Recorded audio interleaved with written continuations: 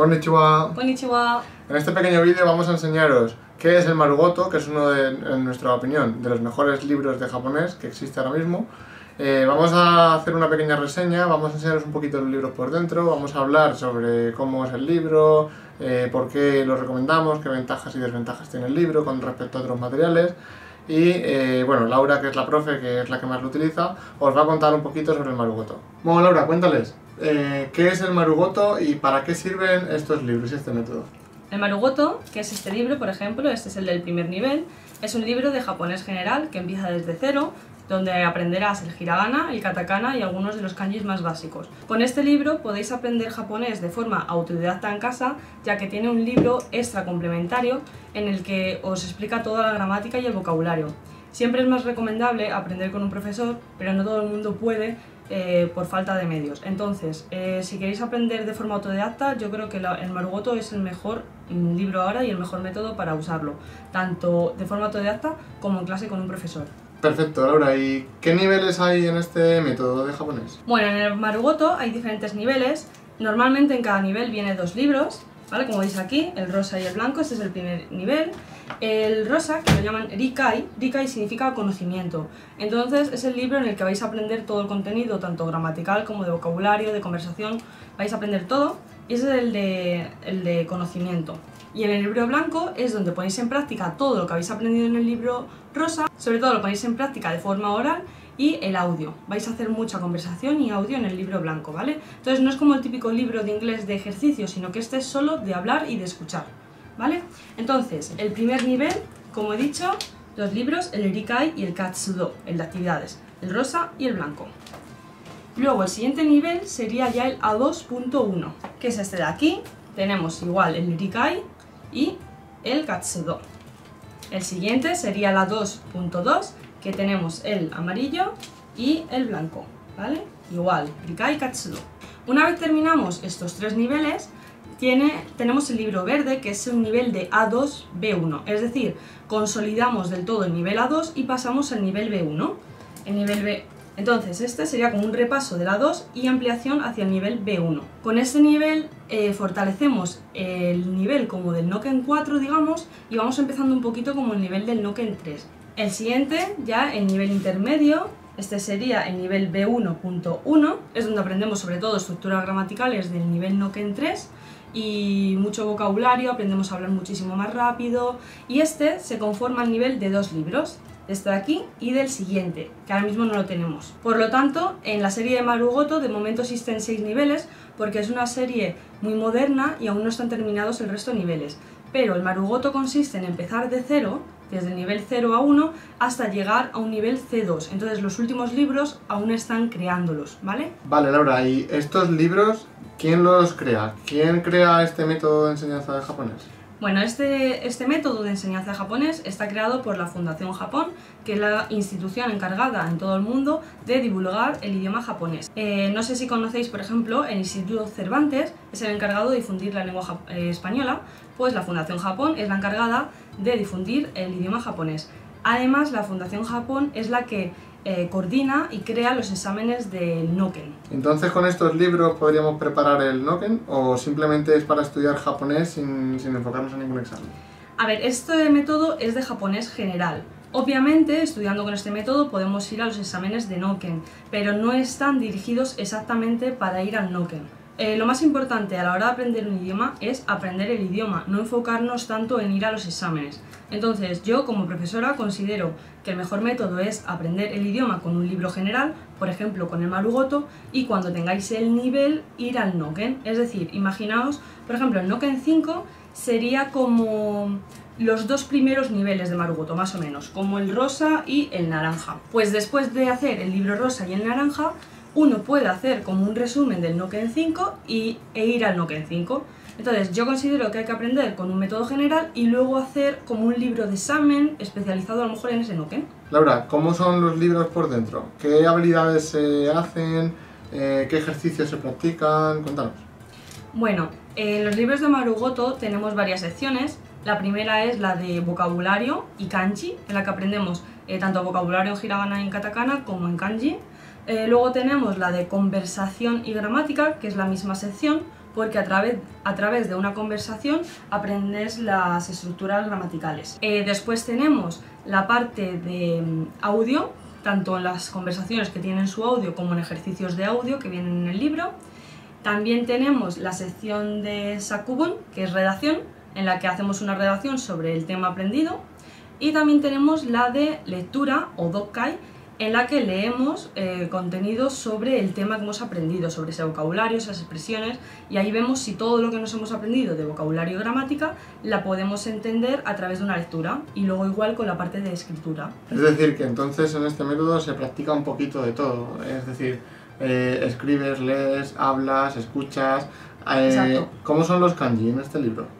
Vale, en este libro los kanji eh, no te explican cómo se hacen. Es, lo único, eh, es el único inconveniente que veo yo. Por ejemplo, ¿veis? Podemos ver que vienen los kanjis con los dibujitos de ayuda y frases de ejemplo.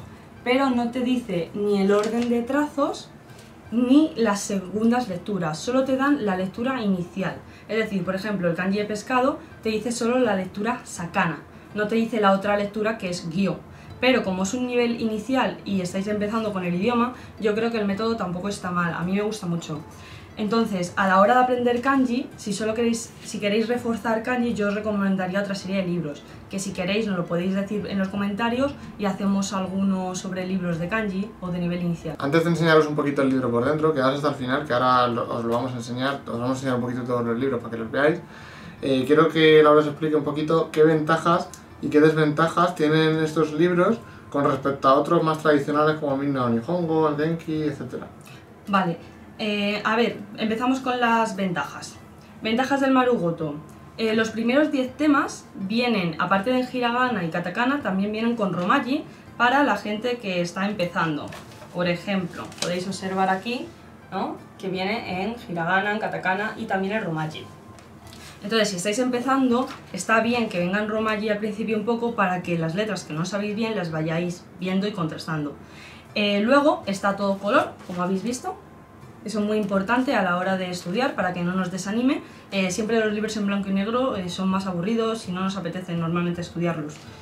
Em, ventajas, que practicamos todas las habilidades del idioma, como ya ha dicho Jesús, conversación, eh, gramática, vocabulario, todo. Otras ventajas es que eh, lo que vemos en las conversaciones siempre viene como una especie de esquema gramatical para que eh, os acordéis de la gramática, de cómo es el esquema, ¿no? Una cosa, una partícula, un tal, tal. Luego, en la serie de Marugoto también tiene material extra, ¿vale? Como material extra tiene un libro como auxiliar de vocabulario en el que viene como una especie de tarjetitas, a lo mejor te pone médico, se dice Isa y te pone en romaji, en hiragana y en español y a todo color que te las puedes imprimir, recortar y hacer muchas cosas. También como material extra tiene los audios subidos en internet para que te los descargues en el móvil, en la tablet o donde tú quieras. No viene con CD como los libros antiguos de japonés. Eh, como contenido extra también tiene una lista de vocabulario del libro, de los tres primeros niveles. Tiene listas de vocabulario en internet para jugar a tarjetas a ver si te sabes la palabra o no, para practicar el vocabulario.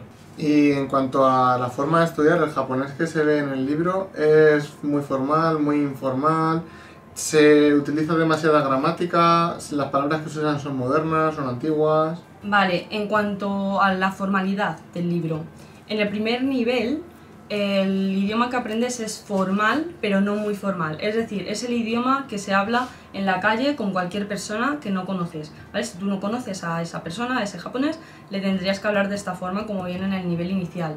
Eh, según van avanzando los libros del Marugoto, te van explicando otras estructuras gramaticales más difíciles, como la forma informal, que sería con la forma en la que hablas con tus compañeros y amigos y familiares, y la forma de Keigo, de, que es el idioma, el lenguaje muy, muy, muy formal que se usa en empresas, el Keigo. En cuanto al vocabulario, eh, yo considero que el vocabulario que viene en el Marugoto es, eh, es, japonés que se usa todos los días de forma cotidiana. Yo siempre lo escucho en los doramas japoneses, por ejemplo. Em, viene vocabulario que se usa hoy en día. No viene vocabulario antiguo, como por ejemplo pasa en el Mina no Nihongo, que vienen palabras que no se usan ahora, como te pure koda, que es la grabadora de cintas, que ahora mismo pues usamos a lo mejor el smartphone. Por ejemplo, no te viene en el Mino Nihongo vocabulario actual como smartphone o palabras de este tipo. Sin embargo, en el Marugoto sí que va saliendo dependiendo del libro. Entonces el vocabulario del Marugoto sí que es mm, actual. Es que el libro es de ahora, es actual. De hecho ya os he dicho que los libros aún no han acabado de hacerse todos. ¿vale? De momento está hasta el nivel B1.2. Vale, entonces Laura, sobre alguna desventaja que tenga este libro con respecto a Mm. Vale, sobre desventajas del Marugoto, yo las que veo son que, por ejemplo, la gramática, si a lo mejor no tienes profesor, eh, vienen muy pocos ejercicios. Vienen como uno o dos por estructura gramatical. Entonces hay otros libros que la gramática sí que la ven más, como por ejemplo en otros libros, como el Mina Nihongo, que es todo gramática. Entonces, eh, yo el Marugoto lo veo bien, ya os he dicho, de momento es el libro que más me gusta, es el que yo uso en mis clases. Pero en cuanto a gramática, a veces con contenidos un poco difíciles, por ejemplo en el libro rosa de momento la gente no suele tener problema, pero en los siguientes libros a veces tengo que buscar algún material extra o crear un material extra, porque a veces hay cosas difíciles que os cuesta un poquito entender y entonces le falta un poquito eso. Y luego aparte de la gramática también lo de los kanjis, que os he dicho que está muy bien porque lo que aprendes en el Marugoto es a leer los kanjis, te enseñan a leerlos, pero no te enseñan a escribirlos. Entonces yo en las clases siempre uso un libro extra para kanji también para fortalecer ese área. Vale, pues para finalizar, enséñales un poquito rápidamente todos los libros para que lo vean por dentro Vale. y terminamos.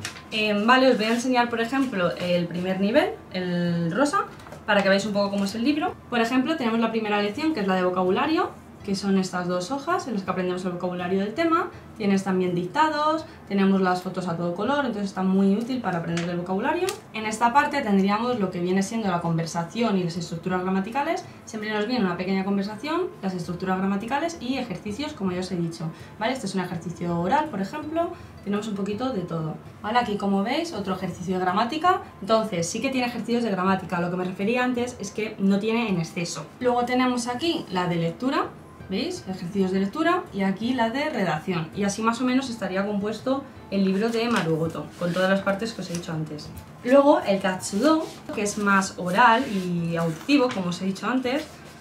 Vienen más fotos porque hay que conversar a lo mejor sobre las fotos. Por ejemplo, aquí en la parte de restaurante te viene un menú como de una hamburguesería, como un McDonald's, un Burger King, en la que tienes que aprender a pedir la comida. Entonces, en el Katsudo siempre todo lo que aprendemos en el libro Rikai lo practicamos en el Katsudo hablando. Os voy a enseñar ahora el del nivel A2B1 para que veáis un libro con un poquito más de nivel. Aquí tendríamos igual la parte de vocabulario. Esta sería la parte de audio en la que practicamos el vocabulario y la gramática vista en los audios. Aquí tendríamos un poquito de conversación. Esta sería la parte de escucha y conversa, que lo que escuchamos lo aprendemos a conversar, a decir. Esta de aquí sería la parte de lectura. Y aquí vemos también gramática y lectura. Bueno, pues muchas gracias Laura por habernos enseñado un poquito cómo funcionan los libros, habernos enseñado un poquito el libro por dentro. Si estáis interesados en adquirir los libros de Marugoto, podéis hacerlo a través de nihongoya.site, que es una página que hemos hecho nosotros para facilitar eh, a todas las personas que quieren estudiar japonés y quieren adquirir productos para estudiar japonés eh, todo el proceso. Hemos hecho, tenemos todos los enlaces de todos estos libros de Amazon para que lo podáis comprar directamente en Amazon, no nosotros, ¿vale? Así que eh, nada, os dejo el enlace en, en el primer comentario para que si lo deseáis vayáis a, a verlo y nos vemos en el próximo vídeo. Ya Un